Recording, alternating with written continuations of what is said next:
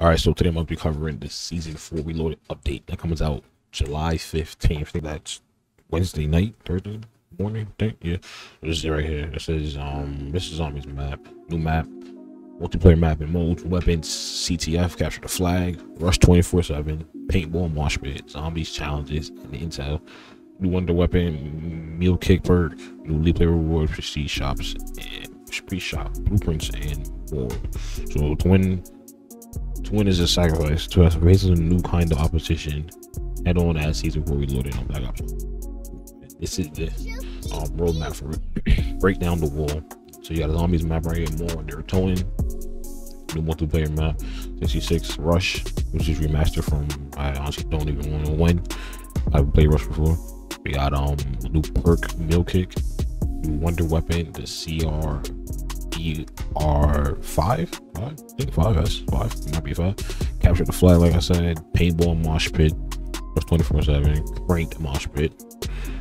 Been playing that a lot too. guys, still in here. Um, new crafting items. That zombies. I'm pretty sure. New challenges. New intel. That's also zombie stuff. New League Play rewards. You get a Krig blueprint. 74 U blueprint. And the mod blueprint. That shit looks horrible. But um, G shot blueprints. MP5 and a Krig.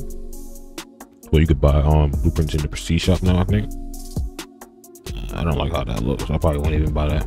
But um, that means the operator. Got a new operator Weaver, the new SMG OTS9. The way the season is going with DLC weapons, I don't know if that's gonna even be good. To be honest, so we gotta see how that is when it comes out. Now we got a new melee weapon, Mace. Doesn't even come out yet. It's in season still. Okay, so I'll probably drop like week after. Warzone, new Warzone mode, new kill streak, blueprint blitz. So that in a centuries Warzone. What? Yeah, that's that, I guess.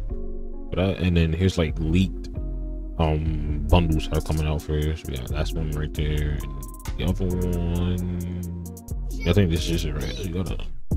Five of them right here. So I don't, I don't think all of them come out this week. They come out over time. And one to definitely drop during the update. So that is also something a free trial of Black Ops Cold War will be available from July 22nd through July 29th, which will allow players to play Cold War multiplayer mode and the Mauer der Toten map for free. So it's free to play for like seven days a week. At um and there's a new operator pack. As new special ops pro pack will be available Black Ops Cold War and Warzone on July 15th for $20 basically. Okay. New skin for Portnova and two legendary blueprint.